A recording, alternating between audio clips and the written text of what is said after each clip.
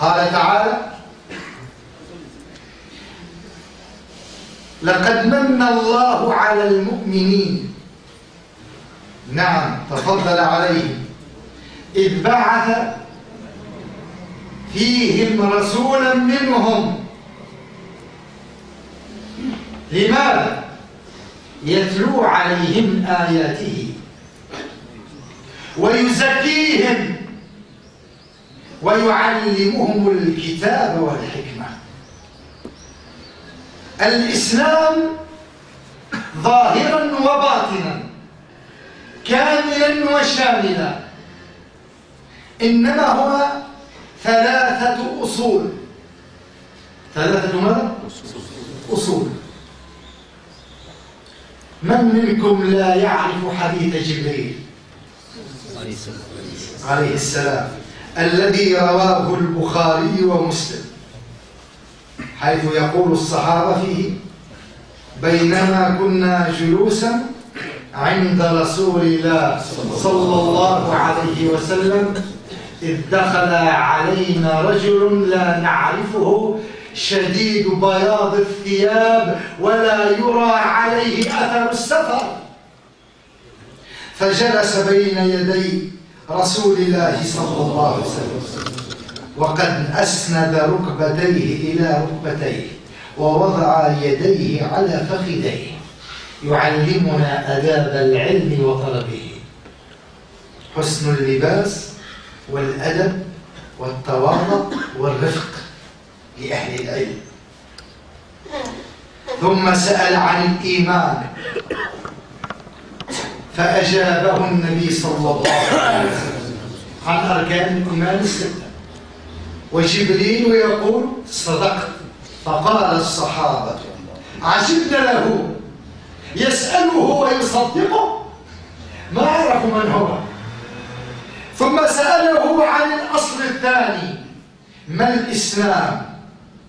فأجابه النبي صلى الله عليه وسلم عن أركان الإسلام. ثم سأله ما الإحسان؟ ماذا؟ ما الإحسان؟ الأصل الثالث الذي غفلنا عنه ولا نتحدث عنه وهو الأصل الثالث من أصول الدين. ما الإحسان يا رسول الله؟ فقال النبي صلى الله عليه وسلم أن تعبد الله كأنك تراه. فإن لم تكن تراه فهو يراك. ثم خرج. فقال النبي صلى الله عليه وسلم أولا تعرفون هذا الرجل؟ قالوا لا يا رسول الله. قال هذا جبريل جاء يعلمكم دينكم. ونحن في هذه المذاكرة سنتكلم عن هذا الأصل الثالث. كم نحن محتاجون إليه؟ ما هي التزكية؟ ما هو مقام الإحسان؟ وكيف تكون؟ ومدى خطورة إغفال هذا الجانب؟ نبتدئ بالقرآن العظيم. ربنا سبحانه وتعالى يقسم في القرآن قسما. كرره سبع مرات. كم كرره؟ سبع مرات. إذا هذا الأمر عظيم جدا. الله صلوا على الحديث. الله سبحانه وتعالى أقسم في القرآن سبع مرات. على أمر ما هو؟ قال تعالى والشمس وضحاها واحد. والقمر إذا تلاها. والنهار إذا جلاها. والليل إذا يغشاها.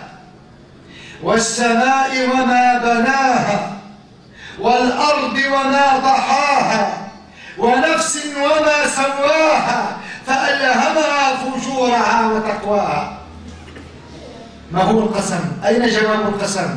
أقسم سبع مرات بالسماوات والأراضين وما بينهما وبنفس الإنسان. لماذا الجواب؟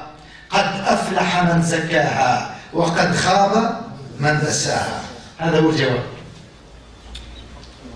ملخص المطلوب الله يريد أن يؤكد لنا في كتابه. هذا بيان واضح. أن الذي لا يهتم بتزكية نفسه فقد خاب وخسر في الدنيا والآخرة. ولن يفلح. ما معنى الفلاح؟ حي على الصلاة حي على الفلاح. الفلاح في لغة العرب هو أعلى درجات الفوز.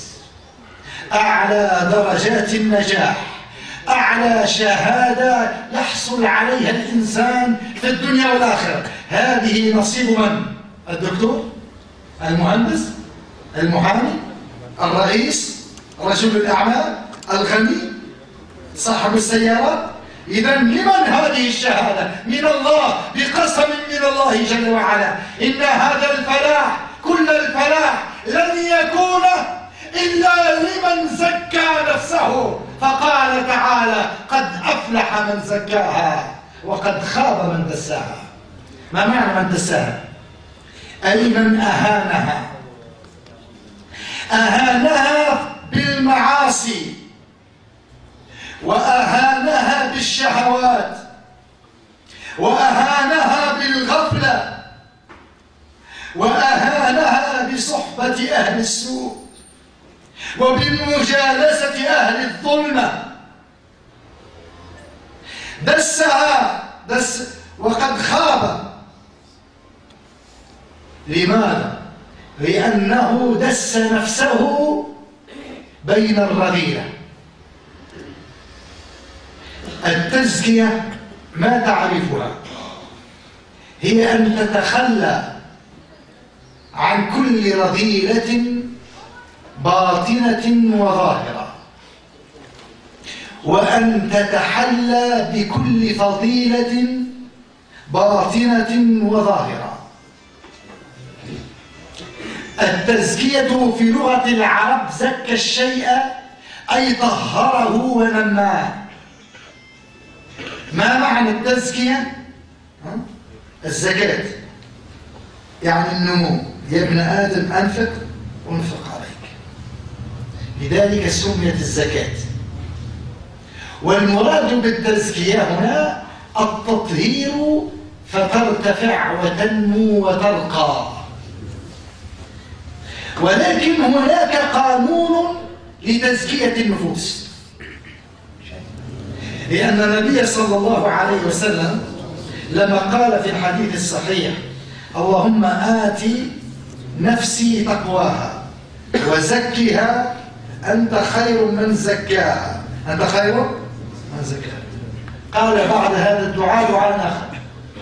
اللهم إني أعوذ بك من علم لا ينفع. إذا اشتغل الإنسان بغير العلوم الشرعية حتى غفل عن العلم الإلهي فلا يستطيع أن يزكي نفسه. فلذلك تعوذ النبي صلى الله عليه وسلم من علم لا ينفع. متى تكون علوم الدنيا لا تنفعك؟ إذا اشتغلت بها اشتغالا يمنعك من أن تتعلم عقيدتك وتتعلم الحلال والحرام وتتعلم كيف تزكي باطنك. فلذا قال اللهم إني أعوذ بك من علم لا ينفع. والعلم النافع فيما رواه أبو داود في سننه. عن أبي هريرة رضي الله عنه قال قال رسول الله صلى الله عليه وسلم العلم ثلاثة. آية محكمة وسنة قائمة وفريضة عادلة. أي علم المواريث وما سوى ذلك ففضل. يعني هذه الأصول الكتاب والسنة. وما تفرع منه من العلم وعلم المواريث. وما زاد على هذه العلوم فهو علم طيب ولكنه فضل. يعني ليس هو الأصل. هو الفضل. الأصل العلوم الشرعية. ومن هنا أنبه. كثيرا ما يستدل بعض الخطباء بآيات وأحاديث في فضل العلم ليبينوا علوم قيمة علوم الدنيا. فنقول لهم انتبهوا. لماذا انتبهوا؟ لأن النبي صلى الله عليه وسلم في الحديث الصحيح ها الذي رواه البخاري ومسلم وغيرهما ماذا قال؟ من يرد الله به خيرا يفقهه في الدين. في الدين. أحسن. في الدين. في التكنولوجيا. في الهندسة. كله طيب. اقرأوا ذلك. ليس هناك مشكلة. الإسلام ليس ضد تعلم هذه الفنون. ولكن هذه الأحاديث واضحة المعنى. حديث آخر صحيح. من روى؟ روى أبو داود وابن حبان. ماذا قال النبي صلى الله عليه وسلم؟ العلماء ورثة الأنبياء أي خلفاء الأنبياء ثم قال النبي صلى الله عليه وسلم. إن العلماء اسمعوا الحديث وافهموا دينكم. إن العلماء لم يورثوا درهما ولا دينارا. وإنما ورثوا العلم. أي علوم الأنبياء. ما هو علم النبوة؟ هو علم التوحيد. هو علم العبادات. هو علم المعاملات هو علم المعاشرات هو علم القضاء هو علم الاقتصاد هو علم الجهاد في سبيل الله هو علم تزكية النفوس هو علم الأخلاقيات. هذه علوم النبوة. ركزوا علوم النبوة ماذا تتكلم؟ علوم الشريعة الإسلامية. إن الأنبياء لم يورثوا درهما ولا دينارا ولكن ورثوا العلم. فمن أخذ به فقد أخذ بحظ وافر أخذ ماذا؟ الموتى إيش معنى حظ كلمة حظ؟ يعني صاحب الزهر العظيم. رجلان مزهران فقط لا ثالث له. والتونس نحبوا على الزهر نعم نحكي هذا مزهر. لا. صاحب الحظ العظيم والحظ الوافر لا أما الأول فقد تلوته في صلاة المغرب. قال تعالى ولا تستوي الحسنة ولا السيئة. ادفع بالتي هي أحسن. فإذا الذي بينك وبينه عداوة كأنه ولي حميم. وما يلقاها إلا الذين صبروا وما يلقاها إلا ذو حظ عظيم إلا من؟